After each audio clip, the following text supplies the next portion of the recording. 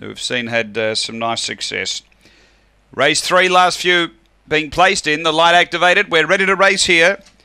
This is Gawler, third on the program. Dietrich the favourite.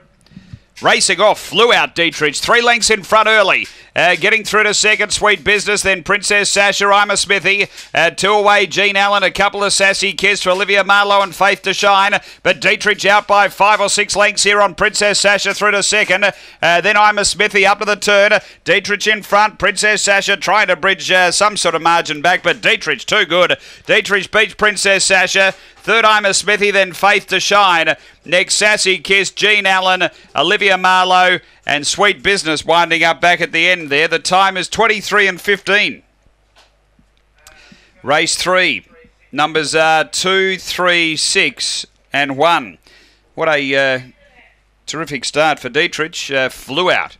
Set up a uh, big lead early. The overall time not super quick, but uh, certainly that early split able to set up a nice lead on the uh, remainder of the field, an 870 first section.